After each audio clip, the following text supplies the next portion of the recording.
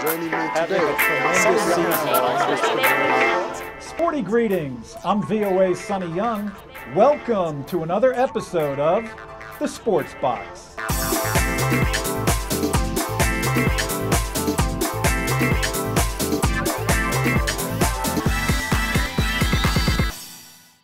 I'm joined by three of my VOA colleagues and NFL experts. We head into the second round of the National Football League playoffs. Let's go game by game. The first game on Saturday, the New England Patriots will host the Baltimore Ravens. How do you see that game, Tony? Well, New England's here again, aren't they? We left them for dead very early in the season after they got blown out by Kansas City. They end up with the one seed. Everyone talks about their weaknesses. Do they have a number one, number one option? Can Rob Gronkowski stay healthy? Who's going to be their number one running back? All these questions every year. Doesn't matter. Always the one seed. The Ravens, on the other hand, always questions with them too at the quarterback position. Everyone says, is Joe Flacco elite? Is he not elite? What's what Joe Flacco is going to show up for this game? I think that's going to determine a lot of what's going to happen in this game. Everyone knows how New England's going to play. How is Joe Flacco going to play? How are the Ravens going to play? Are they going to show up? Are they going to hold on to the ball? Or are they going to turn the ball over? I think that's going to be a huge story in this game. Well, Tony mentioned Rob Gronkowski.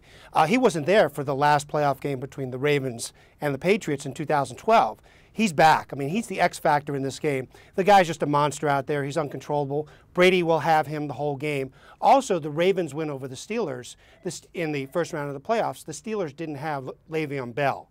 I mean, that was a major factor in that game. So the Ravens are going to have a lot more to contend with against the Patriots. Park, what impact will the uh, Patriots bye week have on their performance? Well, you know, a lot of people wonder if that does affect how the teams play the teams that have played the first week always get a little banged up because those are tough games. On the other hand, you know, does that week off hurt those who, who don't stay in, in, game form? So I'm not sure necessarily that's going to be the case. These are two teams that battle one another hard, and I think it's going to be a great game. I think it's going to be a close game. Okay, let's go to the second game on Saturday. The Seattle Seahawks, the reigning Super Bowl champions, will host the Carolina Panthers. Mike, how do you see that contest? I think this game is going to be a lot closer than people think. I mean, Carolina, 7 8 and 1 in the regular season. Of course, the Seahawks defending Super Bowl champs, 12 and 4. But the uh, Panthers have given the Seahawks fits the last three times these two teams have played. The Seahawks have won all three, but only by an average of four points. Two nasty defenses, two run oriented teams. I think, though, uh, Seattle is a very difficult place for any team to play. Russell Wilson, he can be uncontrollable at times. There's your game I right there. I don't know, Mike. I think that it, it looks like a mismatch on paper, doesn't it? I mean, Carolina's got a lot of talent, but they certainly don't seem to have as much talent as the Seahawks, of course, Seahawks being a former Super Bowl champion. But I, I, think it's a mismatch. I think it's a mismatch on paper. I think it's a mismatch on the field.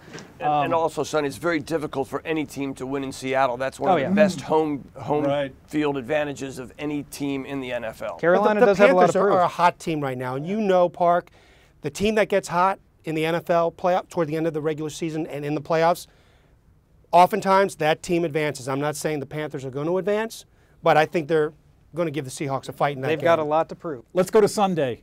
Green Bay Packers against the Dallas Cowboys, two of the traditional NFL teams. What do you think about a that game? Great Mark? matchup, Sonny. And of course, I think the Cowboys and even their fans have to feel a little fortunate they're in this game because it was a very controversial call right. in their playoff game last weekend against the Detroit Lions, where I know the Lions fans feel they got robbed on a, a pass interference call that was made and then taken back by the officials. But now that they're there, Tony Romo has proven, the quarterback of the Dallas Cowboys, that he's he's game on. He's he's had some great games this year at quarterback, and then he's facing another great quarterback in Green Bay and Aaron Rodgers.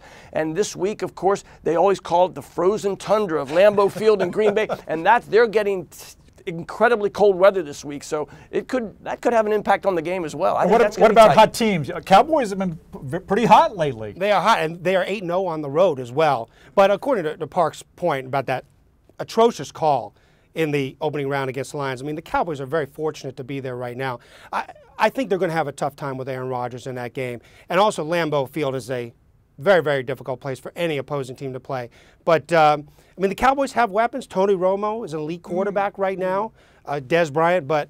Last game of the weekend Denver Broncos at home against the Indianapolis Colts. Uh, the Broncos uh, got crushed in the Super Bowl last year. What do you like? What do you think about this game, Tony?